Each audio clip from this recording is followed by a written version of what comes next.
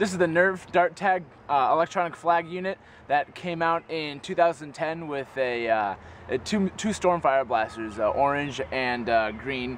Um, so they're unfortunately no longer released, but it's a really neat unit and I just wanted to show you uh, its many uses. Um, we use these actually for, uh, for laser tag games a lot of the time, even though they were developed for, for Nerf games. Um, that's kind of the beauty of this product. It can be used with anything. You don't even need blasters. You could technically just use this for capture the flag.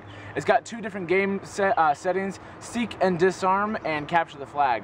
And uh, it gives you the instructions on the back side of the blaster. Uh, wow, blaster. I'm so used to doing blaster reviews. On the back side of the flag, um, and it's got these four red lights on top that light up during games and uh, this switch on the front that allows you to set what game to set it for. It's also got a start and stop button on top and this hook so you could hang it from something.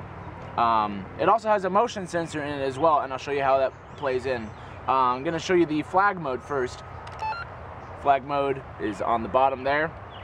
Um, when you want in flag mode, or when it, whenever you want to set it, you uh, flip the switch to whatever setting it is, and then you press this button to lock it in.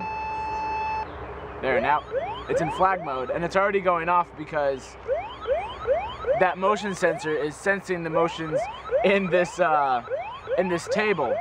Um, what happens is when uh, when you pick up that flag, this uh, this this motion sensor goes off and he starts going nuts because uh, because it's been picked up. So that alerts the other team. Oh my gosh, someone's got our flag. So there's red lights going off and there's sound effect going off, and uh, that's what we do for capture the flag. That's, that's it's a pretty basic mode. The setting that I like to use this on is uh, disarm.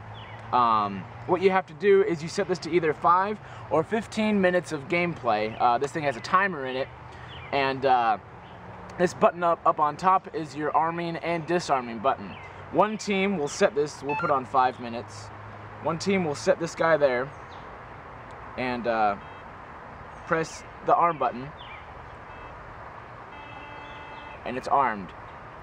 It's going, there's a circle of red lights going around on top. It's not making any other sounds. Now this is kind of fun to use at night because of the simple fact that uh, these red lights are lighting up.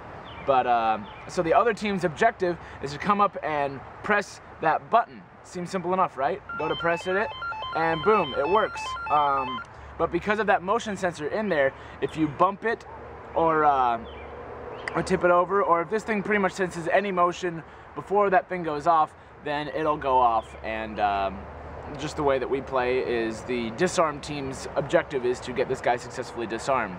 If the time limit is exceeded, um, or if the uh, if the device is knocked over or the motion sensor is set off, then uh, the disarming team loses and the team that set it up wins. Um, so you can use this for, for one flag or for, for one bomb if you're familiar with those kinds of settings on uh, various types of video games. Um, or you can pick up two of these. The, uh, the problem is uh, the, the set that these came with was kind of expensive and they're out of production. So uh, to get your hands on two of these is kind of tough to do, but if you see one for a decent price, I would definitely recommend picking it up because these can be used for more than just for Nerf games, and that's really what I think the beauty is behind this simple piece of uh, equipment.